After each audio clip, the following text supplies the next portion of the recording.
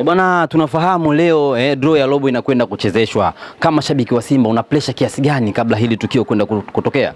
Uh, kama mshabiki wa Simba na mwanachama wa klabu ya Simba ninaweza kusema ni pressure kwa sababu tu ni michuano mikubwa katika bara la Afrika, lakini kama klabu ya Simba naweza kusema sina pressure yoyote, kwa sababu ni sehemu ya kawaida ya klabu ya Simba kufika hatua kama hii, na tumeshashuhudia tukipangwa katika draw za ngazi kama hii zaidi ya mara moja. Kwa hiyo siwezi kusema kwamba na pressure, kwa sababu hata unakwenda kukutana nao ni baadhi ya timu ambazo nipo katika lenki fulani, wakati mwingine waga nashindana nazo. Kwa hiyo sina pressure kama Simba, nina pressure kama michuano, kwa sababu ndio mikubwa katika bara la Afrika. Sio mara ya kwanza kufika robo, kwenu robo sio tatizo, unasema sio shida zenu, mnafili wapi kwenda mbele zaidi?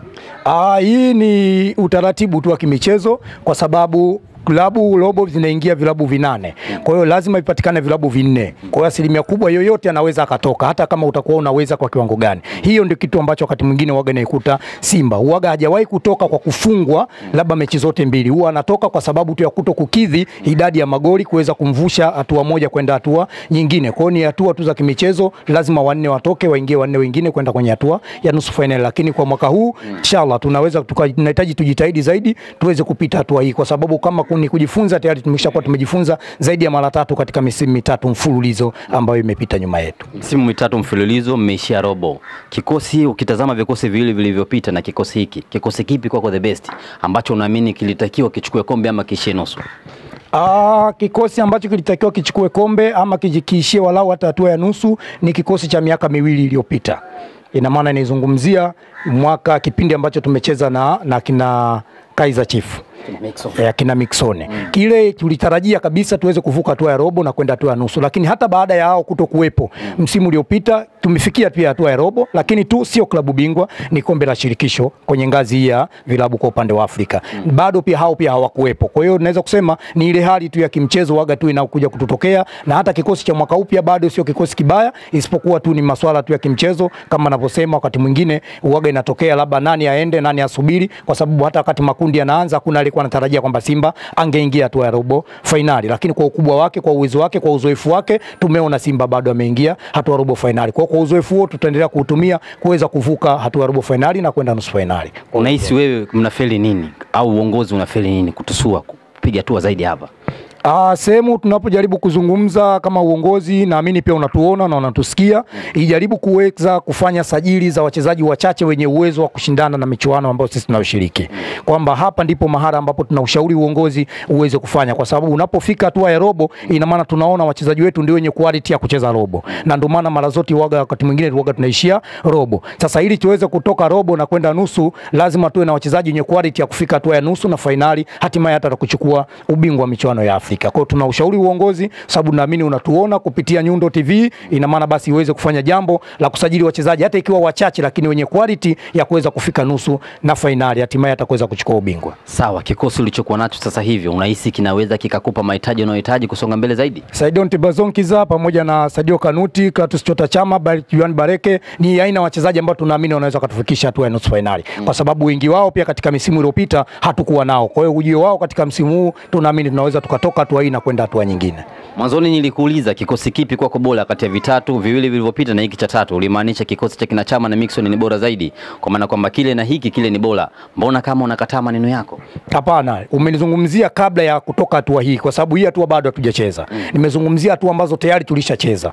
2023 hatujacheza bado robo finali. Kwa hiyo tunazungumzia hatua ambazo tayari tulikuwa tumecheza 22 na 21 na kurudi nyuma mpaka 2020. Kwa hiyo kwa kipindi hivi ile ambavyo tulikuwa tayari tumeshapita, ndio maana nilisema kikosi kile kilikuwa ni zaidi ya kufika hatua ya nusu fainali katika ile misimu mitatu. Sasa huu ni msimu wa nne, ina maana tunakwenda tena hatua nyingine ya robo fainali. Tunatarajia kikosi hiki kiweze kuleta ushindani, walau kiweze kuwa kama kile kilichokuwa kimepita cha, cha kina Mixon. Kwa tunaamini kwamba ubora baada ya kucheza hatua robo fainali inawezekana ukafanana ama hata ikawa zaidi ya kile, kwa sababu bado hatujacheza, hatuwezi kusema kwamba bado ni chao ni bora au sio bora kukipita cha kina Mixon. Sawa, tuache hapo, tuhamie kwenye ligi ya Azam Federation Cup. Hivi punde unakaribia kuingia dimbani dhidi ya EF e, mtu ambaye kashawanyoa manguli wote, kamfunga Yanga tunafahamu, kamfunga na Azam FC. Bado wewe wewe una, una, una kauli gani? Unaweza kuwatetea wakubwa wenzako au na wewe ndo umesha, umesha, umeshaweka maji nywele zako? Ndo kazi ambayo ninayo. Nimewaona wakubwa wenzangu walichokuwa wamefanywa na ihefu Sasa kimsingi nimebaki mtetezi pekee kwa timu hizi kubwa tatu katika ligi kuu ya Tanzania bara kupitia kombe la Azam Federation. Ina maana tunahitaji kwenda kuwalipia kisasi wao wote ambao walikuwa wamefungwa na ihefu na ihefu sio timu mbaya, kwa sababu ni timu ambayo ina wachezaji wazuri, pia ina wachezaji wazoefu ambao tayari wamekwisha wahi kucheza katika ligi hii ya Tanzania bara. Kwa hiyo sio timu mbaya na wala sio timu ya kuibeza, lakini kwa kile ambacho Simba tunachoendelea kukihitaji katika kombe la shirikisho la Azam, lakini kwa kile ambacho ni kazi ambayo walikuwa wametupa wakubwa wenzetu ya kwenda kuwalipia kisasi, tunaamini kupitia tarehe kupitia mechi ya tarehe saba mwezi huu tuna jambo nataka tufanye kwenda kuwalipia kisasi, lakini pia tunaamini tunaweza tukashinda kwenda hatua nyingine ya nusu fainali katika kombe la Azam. Kwa jicho la tatu kabisa, unamwona IHF anakufa goli ngapi, ama wewe unakufa goli ngapi? Ah, kwa Simba kufa si jambo la kawaida, labda itokee tu ku, ku, ku, ku, kuota wenyewe wanasema kuota embe katika mkoroshi. Kama hilo linawezekana, basi linaweza likatokea. Lakini hata Yanga tujaamini kama angeweza kumfunga. Na huwezi kusema hujaamini kwa sababu wale walisema hawatoki. Kwa hiyo maana pia walichokisema pia kilikuja kikatokea, lakini sisi hawajatuambia kama hawatotoki. Wao wenyewe bado wana hofu na Simba na wanasema watakwenda kucheza ili wasifungwe goli nyingi. Kwa hiyo wanachokuja kuja kuzuia wasije wakafungwa goli nyingi, lakini sio kuja kuifunga Simba. Na hata IF hakuifunga Yanga Dar es Salaam, walienda kuifunga Yanga kwao. Azam Federation inachezewa Dar es Salaam. Kwa hiyo ina maana hii ina maana tuna uwezo tukaifunga IF Dar es Salaam na mara pengine popote, hata angetuambia twende tukacheze Mbalali, tungewafunga IF huko huko, sababu kiwango cha Yanga na cha Simba ni viwango viwili tofauti. Tusifike huko kwenye kiwango cha Yanga na Simba. Umesema IHF hajamfunga Yanga ukiwa Dar es Salaam, walimfunga Mbalali. Yeah. Mchezo wa kwanza ni IHF unacheza kwa Mkapa, mchezo wa pili unaenda kwao, mchezo wa ligi kama unafahamu hivyo. Kwa hiyo wewe una, una, una, una nini ukienda kule Mbalali kinakwenda kutokea? yote ni kwenda kuwalipia kisasi ndugu zetu. Tumesema tunaanza Dar es Salaam, tutakwenda kulipa kisasi tena Mbalali, kwa sababu wenzetu walifungwa Mbalali. Kwa hiyo na sisi tunakwenda kuwalipia kisasi pale pale Mbalali. Kitakachotokea Mbalali, wa Tanzania wenyewe watafahamu kwamba Simba kweli ni timu kubwa. Nakwenda kuwalipa watu wazima wenzenu. nakwenda kuwalipia watu wazima wenzetu, kwa sababu waliteleza mm. na sisi hatuwezi kupita katika nyayo zile. mm. Lazima ifike mahara tuwatetee wale, sisi ni ndugu zetu, lazima hatuwezi kuwakawa wanapigwa tukawa tunawaangalia. Lazima tuwatetee kwa kadiri ya uwezo wetu, na tunaahidi tunakwenda kuwatetea. Sawa, mnakwenda kuwatetea. Mkifanikiwa kumfunga Hefu, kwa maana mnaingia nusu fainali. Azam Federation. Upo uwezekano nyinyi mkakutana na Azam mara baada ya Yanga naye huenda kakutana na Singida. Unaenda kukutana na Azam kwa mara nyingine. Una pressure kiasi gani? Ukizungumzia moja ya vilabu bora kwa Tanzania kwa, hi, kwa siku za hivi karibuni na Azam yupo. Unahisi mchezo utakuwaje dhidi ya Azam FC?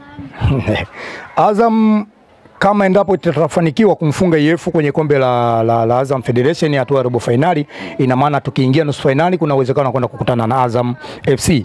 Labda tu nitoe salamu kwa Azam kwamba imetokea kutufunga katika ligi mm. mechi ya kwanza, lakini mechi ya pili tumetoka nao nguvu sawa mm bao moja kwa moja. Sasa niwaambie kwamba kama ulikuwa unatoka umetambaa, sasa umekuja ulisimama katika mechi ya pili. Tunatoka kwenye kusimama tunakwenda kwenye kutembea pamoja na kukimbia. Kwa hiyo baada ya kutoka draw, kinachofuata ni kuwapiga. Hatuna kitu kingine, endapo atabahatika kuingia robo finali, kuingia hatua nusu finali. Azam wajiandae. Azam waweze kujiandaa, wenyewe wanasemaga ujinga wakati wa kwenda, hakuna anayepotea njia mara mbili. Bwana, mimi nikushukuru kwa time yako. Asante sana, nikutakia kila la heri. Nyundo TV, karibuni sana, Shukrani sana. asante sana.